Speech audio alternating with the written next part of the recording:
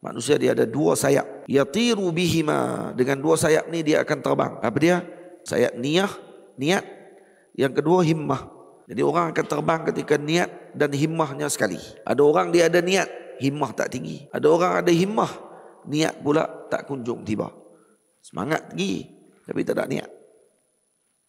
Jadi tak mencapai juga kepada matlamat dan juga maksud.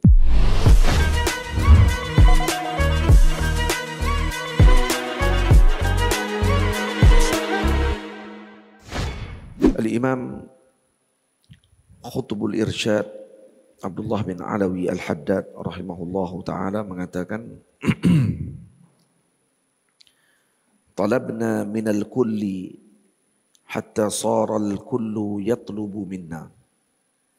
طلبنا من الكل حتى صار الكل يطلب منا. Kami menuntut ilmu ini daripada al-kull daripada semua hatta saral kull sehingga menyebabkan kesemuanya yatlubu minna menuntut daripada kami. Jadi ini makna kalam beliau yang beliau maksudkan di dalam mana Al-Habib Abdullah bin Alawi Al-Haddad rahimahullah pernah menyebut kepada sebahagian daripada para muridnya yang datang kepada beliau Lalu beliau menyebut zanantum anna hassalna bil huwaina. Kamu menyangka kami mengambil ilmu ini dengan bersenang-senang. Alam ta'lamu anna tufna jami'al buldani bi jihati Hadramut li liqa'is salihin wa tabarruki bihim. Adakah kamu tidak mengetahui sesungguhnya kami mendapatkan ilmu ini dengan tufna jami'al buldan yaitu kami bermusafir ke seluruh negeri daripada Hadramut ini maksudnya seluruh negeri di Hadramut ini kami pergi untuk bertemu dengan para salihin dan bertabarruk daripada mereka.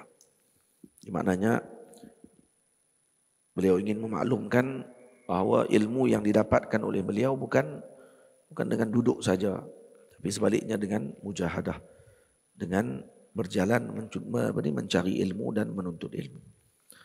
Al-Imam Al-Syeikh Khatib Al-Baghdadi rahimahullahu taala ada menulis sebuah kitab yang menyebutkan tentang para sahabat dan para tabi'in dan yang datang setelah para tabi'in yang bermusafir semata-mata untuk mencari satu hadis sahaja untuk menuntut satu hadis Nabi sallallahu alaihi wa alihi wasallam.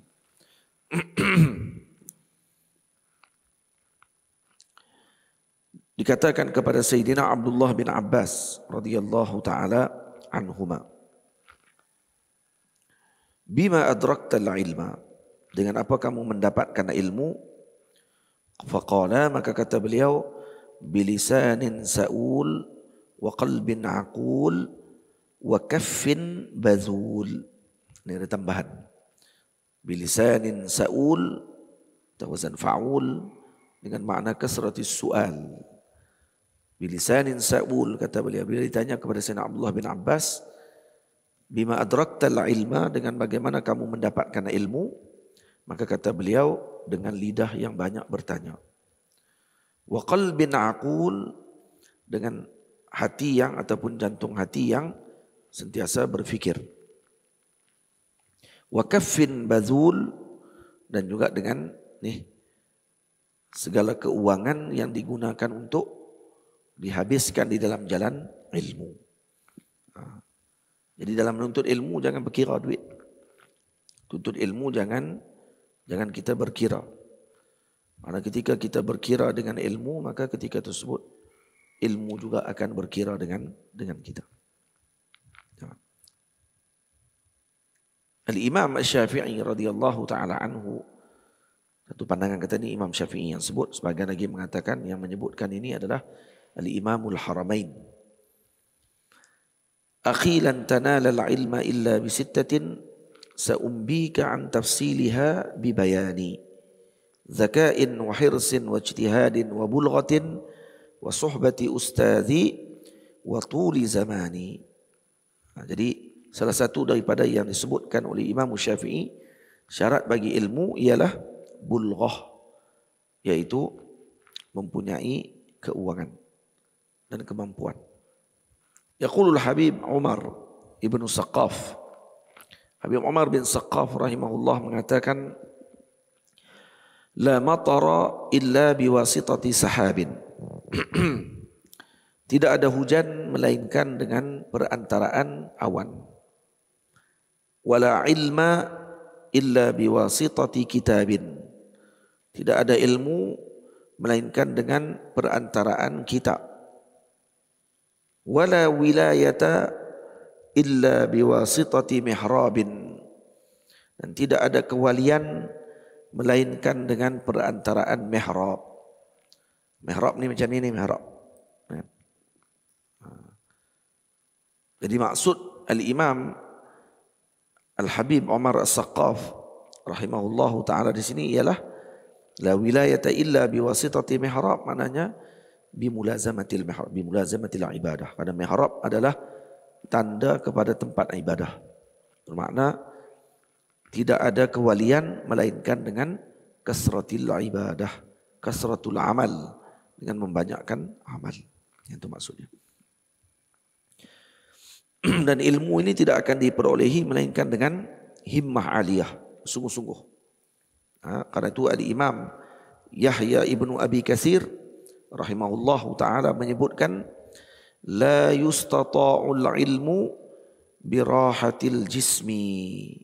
Ini tidak akan seseorang tadi mendapatkan ilmu dengan banyak berehat.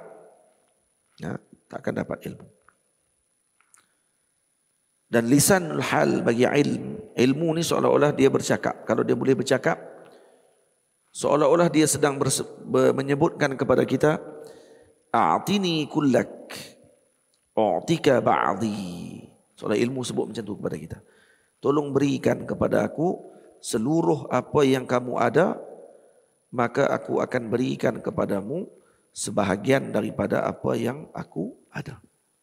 Ah, jadi kalau kita tuntut ilmu, sebanyak mana pun kita gunakan masa kita dan keuangan kita dan seluruh kemampuan kita, yang kita hanya dapatkan sebahagian kecil sahaja daripada ilmu. Mana ilmu ini terlalu luas. Sayyiduna Ahmad Ibn Al-Faqih datang bertemu Baqu Syair. Nah. Qala lahu Sayyiduna Ahmad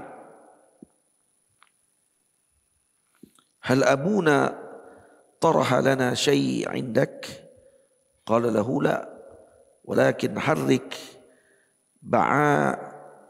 ba'aba'ak wa azib ja'aja'ak. Apa kata dia ni?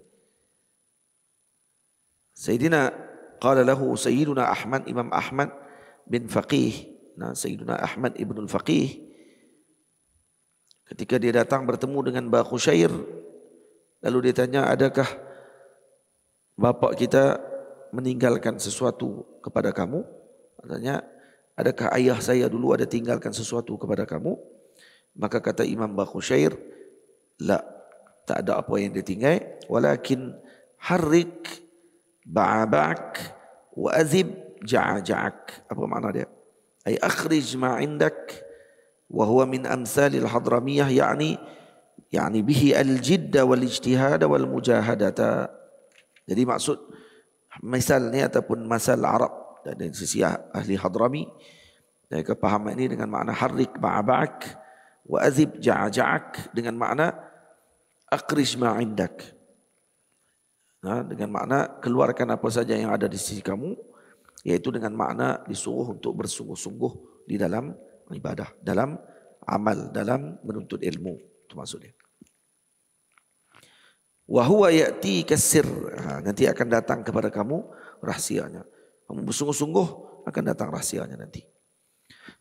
Dan alamat penuntut ilmu yang bersungguh-sungguh, yang ilmunya bermanfaat.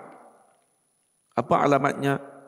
annahu kullama dakhala alaihi ahadun wajadahu yaqra atau yusabbih atau yastaghfir atau ma hadha ma'nahu penuntut ilmu yang sungguh-sungguh ni yang betul ilmunya dan benar baik, baik ilmunya kalau seorang tadi masuk bertemu dengannya tak ada keadaan dia yang lain melainkan salah satu daripada ini sama ada dia membaca atau bertasbih atau beristighfar. Salah satu tu. Ha? maksudnya tak ada kata ataupun dia menulis atau dia mencatat ilmu atau dia murajaah atau dia membaca al-Quran dan seumpamanya. Tak ada wajah lain. Qala al-Habib Ahmad ibn Umar ibn Sumair fi wasfi talib al-ilm. Al-Habib Ahmad bin Umar bin Sumair ketika mensifatkan penuntut ilmu maka kata beliau kun fil bukuri ghuraba wa fit tamalluqi khittu summa ihtamil misla kalbin wa zalinujhika syartu. Jadilah kamu pada waktu pagi seperti ghurab seperti burung gagak.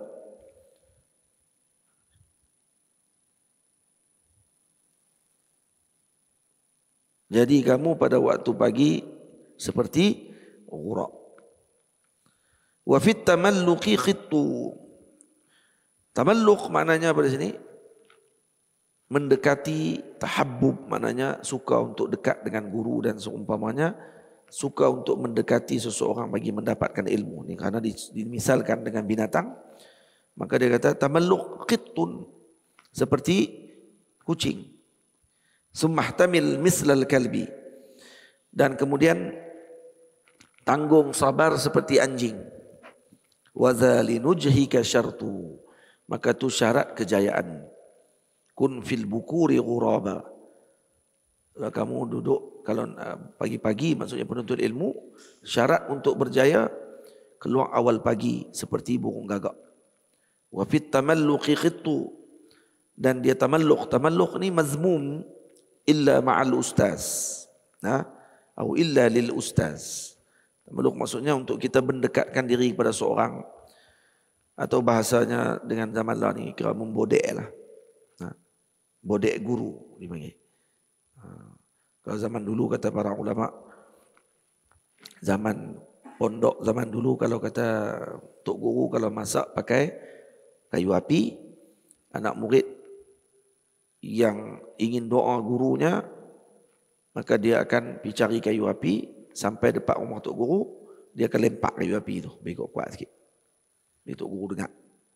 Dia tak guru akan keluar tengok suara bala tengok aku tingkat ataupun buka tingkat sikit tengok. Oh, dia ni rupanya duk ambil kayu api. Ha. Nanti Tok Guru akan doa insyaAllah. Macam Tapi bukan sebab nak anak darah Tok Guru lah. Tok Guru dah anak darah ramai pula. Ha, dia duk, kawan duk taram dah. Ha. Ha. Tu duk harap kata moga-moga jadi menantu Tok Guru nanti. Ha. Kan? ha. Jadi tiap-tiap hari duk buat kerja lah. Ha, dengan harapan menjadi menantu guru. Tak, tamaluk di sini untuk ilmu. Bukan hal lain, benda lain. Tak, untuk dapat doa guru, untuk dapat ilmu. untuk dapat ilmu, faham? Macam apa? Macam kucing. Kucing cuba tengok. Dia punya manja dengan seseorang tadi dia main. Dia apa ni? Menyender. Lagi lagi. Dia buat apa? Buat apa Abdul Rahman? Ha? Demai duk rapat kot kaki. Kena tolak empat kali pun main juga. Betul tak? Tolak empat kali pun. Nah, main duduk tengok. Padahal duduk nak. Ayam duduk atas meja ambil tok guru tu. Dia duduk berkenan lah tu. Tengok. Pantang lepah lagi. Raib ayam tu. Lepas tu kena terkatok pala. Jatuh daripada meja. Sagi main balik. Ada tamaluk. Ini maksudnya kerja dia tahabbub suka main dekat macam tu jadi macam kucing kata syekh nah kalau kata untuk ilmu kena jadi macam tu jangan duduk jauh ha, ni nak mengaji dengan guru kita duduk makin jauh jauh jauh, jauh. lari lari lari lari takkan dapat ya summah tamil misla kalbin kemudian tahan sabar macam anjing anjing macam tu juga anjing baling batu macam mana sekali pun Ha, kalau kata dia suka kepada seorang tuan tu dia akan dia akan patah balik mai. Ha, ini anjing. Wadha linujhika syartu. Dan ini adalah syarat bagi kejayaanmu. Tamam. Al-Habib Abdullah bin Alawi Al-Haddad rahimahullah Qutbul Da'wah wal Irsyad mengatakan As-saliku sadiq la yazalu fi mazidin min al-ma'rifati wal ibadah hatta yakhruja min ad-dunya.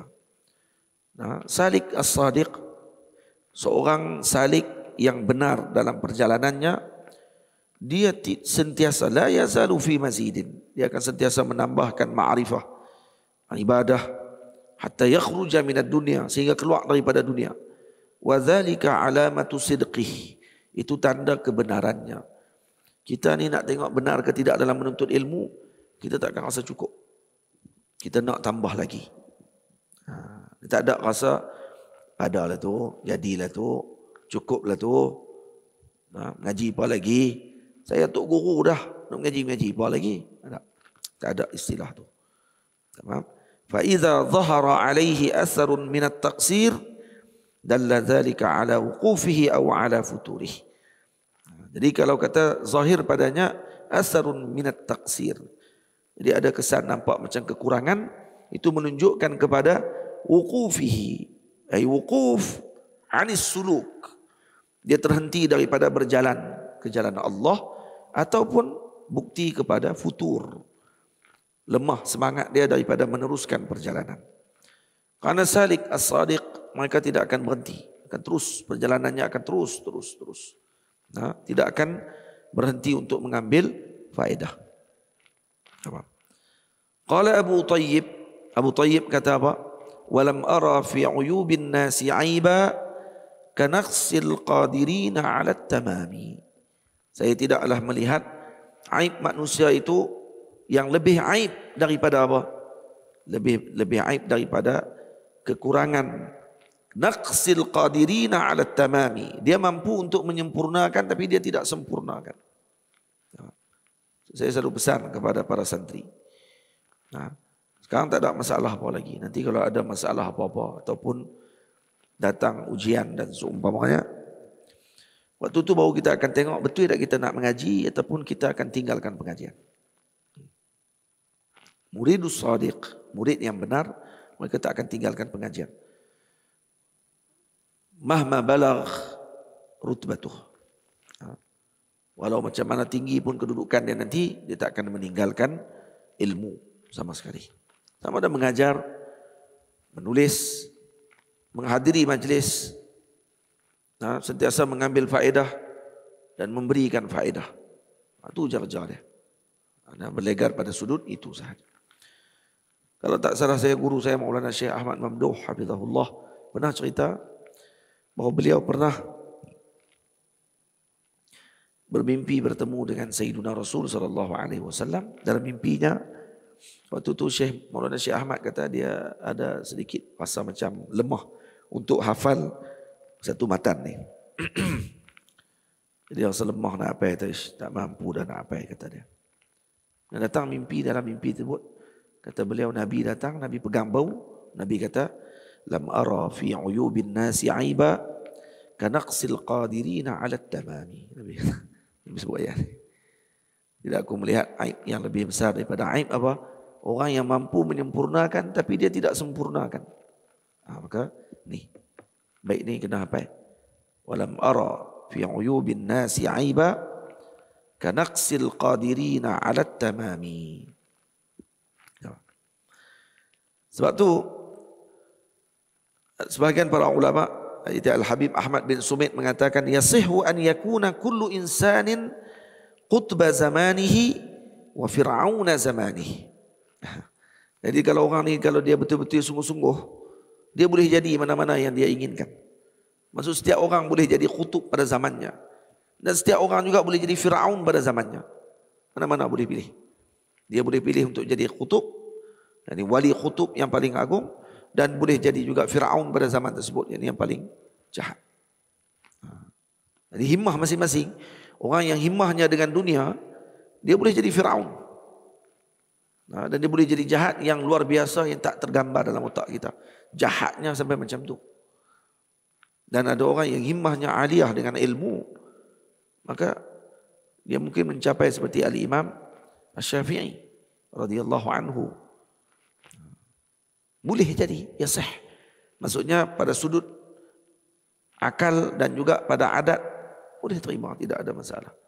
Maksudnya pada adatnya boleh. Tetapi untuk mendapatkan tadi ya sukar tapi pada adatnya boleh dapat. Tidak bercanggah pun dengan adat. Ha, sebab itu kerana itu dengan himmah aliyah ni ataupun dengan semangat yang tinggi itu akan mencapai kepada kedudukan yang tinggi. Dan itu disebutkan bahawa manusia ini lahu janahan. Manusia dia ada dua sayap. Yatiru bihima dengan dua sayap ni dia akan terbang. Apa dia? An-niyatu wal himmatu. Sayap niyah, niat yang kedua himmah. Wa ahlu zamani waqifuna bainahuma. Faba'duhum ma'ahu niyatun walakin ma fihi himmatun. Ba'duhum himmatuhu kabiratun wan niyatu ma ja'a 'alaiha ba'du. Jadi ada ahlu zaman waqifuna bainahuma. Orang zaman ini setiap zaman ini dia akan terhenti di antara dua tersebut. Jadi orang akan terbang ketika niat dan himmahnya sekali. Ada orang dia ada niat, himmah tak tinggi. Ada orang ada himmah, niat pula tak kunjung tiba. Semangat tinggi, tapi tak ada niat. Jadi tak mencapai juga kepada matlamat dan juga maksud. Tamam. Terakhir. Qataba darwishun minad darawish. Darwish ni adalah apa ni uh, sebutan kepada para sufi. Ya, orang sufi yang banyak bermusafir dan zuhud maka digelar darwish. Ya. Qataba darwishun minad darawish. Darawish jamak kepada darwish. Binta malikin minal muluk. Seorang sufi ahli zuhud pergi minang anak raja. Fa'ajabahu al-malik wa qala lahu la taqdiru ala mahriha. Ah ni bagi himmah aliyah ni Maka raja kata, kamu takkan mampu untuk bayar mahar. Ini puteri aku ni. Dia kamu darwish. Kamu nak main pinang anak aku ni puteri raja ni. Ya ni berani ni. Qala na'am akhdir. Kata darwish dia, ya, aku mampu. Fa akhbarahu anna maharaha kaza wa kaza. Ini qadrun azimun minal jawahir wa dur as-samin. Ad-durari as-saminah. Lalu raja pun maklumkan dia punya mahar dia sekian-sekian dengan apa ni permata dengan emas dan seumpamanya yang mahal-mahal. Fasara bihimmatin qawiyatin musammamatin ila sahilil bahr. Hmm.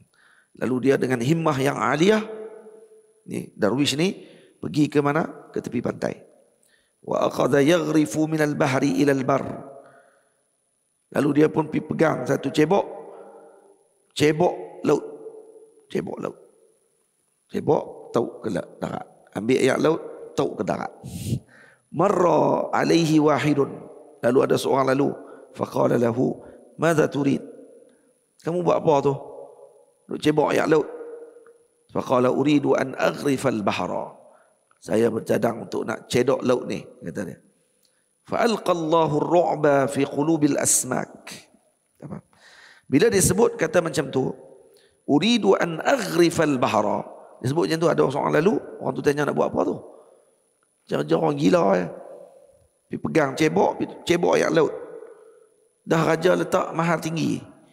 Permata dengan berlian, dengan semacam-macam ni. Lalu dia ni himmah tinggi ni dia tak main-main ni. Terus pergi ke tepi laut, cedok ayat laut. Orang, orang tanya maka dia jawab uridu an aghrifal bahra. Bila dia jawab macam tu, fa alqallahu ar-ru'ba fi qulubil asmak. Allah Taala campakkan rasa gementar dalam hati ikan-ikan yang duduk dalam laut. Ikan-ikan dengar. Hak dia sebut tu. Bila dia dengar kata wali ni nak cedok ayat laut, jenuh kami lagi. Ada kalau kata pada sudut adatnya, ish, cedok ayat laut ni. Maka apa yang berlaku? Faqazafat lahu qadran aziman minad durar wal jawahir. Ikan-ikan bawa naik habis semua. Permata-permata yang ada dalam laut. Bawa pergi tepi pantai, lempak pergi situ. Tak usah duduk cedok dah. Kami tolong main hantar. Saat lagi kerin laut, mampu kami. Ikan pun jam. No? Ha. Dia. Fa'akhadha ma arada minhu wa sara ilal malik. Dia bawa harta tu semua. Pergi letak depan raja. Faqabilahu minhu wa zawwajahu benatah. Lalu dia terima dan dikahwinkan putrinya dengan darwish tersebut. Dan macam mana dia dapatkan dari kulluhu nalahu bi'uluwil himmah wa quwwatiha. Tamam? Dan ini semua didapatkan dengan apa? Dengan himmah yang tinggi wa himamur rijali tahuddul jibal. Ha? Himamur rijali tahuddul jibala. Himmah seorang tokoh tersebut boleh menghancurkan gunung menghancurkan gunung. Masya Allah. Ada seorang lelaki. Ini bukit besar. Kampung dia di sini. Ini cerita betul. Dan hospital di sebelah bukit ni. Jarak daripada nak pergi daripada hospital, daripada rumah dia nak pergi ke hospital lebih kurang dalam 30 km zaman tu. Waktu nak naik pula kenderaan lambat dan seumpamanya. Dan uh, ceritanya sebelum jadi cerita tu orang tengok dia duduk korek bukit. Ini korek bukit ni. Bukit ni besar. Dan dia korek bukit tu orang tanya kenapa korek bukit ni? Kata dia saya ingin buat jalan yang dekat untuk sampai ke hospital. Bila dia korek bukit, jalan yang 30 km yang jalan tu teruk mengambil masa sampai satu jam ataupun lebih hanya mengambil masa lebih kurang dalam 15 minit saja untuk sampai dengan jalan hak dia korek tu. Dan dia berjaya korek. Orang tanya kenapa sampai macam tu sekali dia punya semangat? Kata dia dia ada isteri. Isteri dia pernah jatuh sakit disebabkan kerana hospital terlalu jauh dilindung dengan bukit tu maka hospital apa ni ambulans lambat sampai dan isteri dia mati dalam perjalanan. Jadi dia kata dia tak mau ulangi balik benda tadi kepada masyarakat kampung dia. Dan kerajaan pun tak bantu kata dia, maka dia korek sendiri dengan tenaga dia. Dengan cangkui dia. Dan berjaya belah bukit tu dengan himmah dia yang aliyah. Rahman. Ha. Lelaki itu boleh takkan kita tak boleh. Nah itu. Apa guna? Nah, tubuh yang besar. Terakhir, habis las. Kana al-manfaluti. Al-manfaluti, siapa dia manfaluti? Manfaluti ini adalah salah seorang daripada ulama lughah. Ha. Batu kata ulama kalau kata seorang nak pandai bahasa Arab, baca kitab manfaluti. Ha, dia tak faham ke tak? Kalau baca faham, insya-Allah khair. Nah, ini yang dipesan oleh guru kami Maulana Syekh Muhammad Said Al-Hambali. Ha, kita kena baca kitab Manfaluti. Manfaluti tanya kepada anak lelakinya. Waktu tu anaknya masih kecil. Untuk dia tanamkan himmah aliyah kepada anak dia tadi. Lalu dia tanya. Ya bunayya, turidu an takuna mislaman fil mustaqbal. Ah, ni dia tanya ke anak dia. Wahai anakku, nanti ketika kamu besar nanti kamu nak jadi macam siapa? Ha, maka kata anak dia tersebut, uridu an akuna mislaka ya abi. Saya nak jadi macam kamu wahai ayah. Nah, maka kata Imam kata Syekh Mamfaluti dia kata apa? Qala lahu la la la la. Kayak itulah. Cara Mesir lah. Dia Arab Mesir. La la la la. Ha? La taqul hakadha kata dia. Jangan sebut macam tu. Jangan jadi macam aku. Li'annani wa ana saghirun. Karena aku ketika kecil kuntu atamanna an akuna misla Ali, misla Ali ibn Abi Talib. Aku waktu kecil dulu aku pernah bercita-cita untuk jadi seperti Sayyidina Ali bin Abi Talib. Fal farqu baini wa bainaka sayakunu misla al farqi baini wa baina Ali bin Abi Talib. Maka nanti kalau kata Aku di sini, Sayyidina Ali di sini. Faham? Aku bercita-cita waktu kecil nak jadi Sayyidina Ali. Kamu di sini bercita-cita nak jadi macam aku, sekat ni je. Maka nanti kalau kamu dah besar, perbezaan kamu dengan aku seperti perbezaan aku dengan Sayyidina Ali. Faham? Jadi aku di sini, Sayyidina Ali di sini, kamu di sini. Kamu bercita-cita jadi macam aku, aku pula bercita-cita jadi Sayyidina Ali. Maka cita-cita kamu tu rendah lagi sebenarnya. Cita-cita kata dia, apa dia? Kabbir himmata. Besarkan himmah kamu. Wanzur ila fauq. Tengok ke atas. Ambil yang paling tinggi. Ha, faham? Itu kalau orang main, doa saya jadi macam Syekh. Doa saya jadi macam ha, sebut macam tu. Tak, tak, tak, jangan doa jadi macam saya. Nah, sebab saya punya doa pun lagi tinggi lagi daripada tu. Nah, nak jadi macam Sayyidina Ali Imam Al-Syafi'i. Ha, jadi kalau kata orang tu main, minta jadi macam dengan kita, rugi. Ha, jadi kita kat sini, Sayyidina Imam Syafi'i, tak ada tempat lah. Atas lagi, kawan ni duduk bawah, minta jadi macam kita. Habis, tak ada apa. Ha, jadi minta jadi yang tinggi. Kabir himmatak. Besarkan himmah kamu. Ha? Wanzur ilal fawq. Ataupun sebut dengan bahasa Mesir sekarang ni. Sebut apa? Irfa' ra'sak. Ha? Angkat kepala kamu dengan tinggi. Angkatkan kepalamu dengan tinggi. Jangan tundukkan kepala kamu. Faham? Wassallallahu ala sayyidina Muhammad. Semoga himmah kita tinggi dalam menuntut ilmu. Dan insyaAllah kita akan menjadi seperti yang diharapkan tersebut insya Allah taala. Kita akan sambung pada petang nanti. Wassalamualaikum ala sayyidina muhammad wa ala alihi ajmain. Walhamdulillahirabbil alamin. Assalamualaikum warahmatullahi wabarakatuh. thank you